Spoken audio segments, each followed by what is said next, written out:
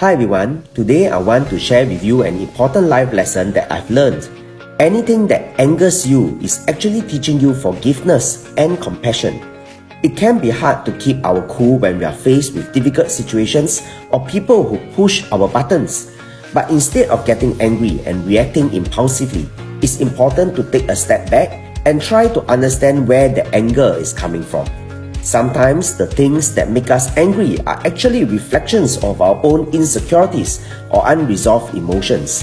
Other times, it could be a result of someone else's actions or behaviors that we don't agree with.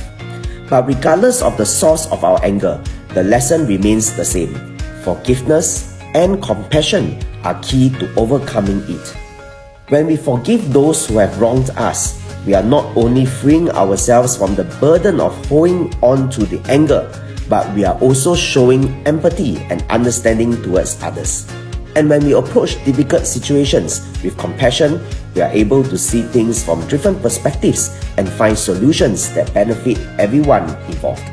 So the next time you find yourself feeling angry or frustrated, take a moment to pause and reflect on what that emotion is trying to teach you and remember, forgiveness and compassion are powerful tools that can help us navigate even the toughest of situations. Thanks for watching.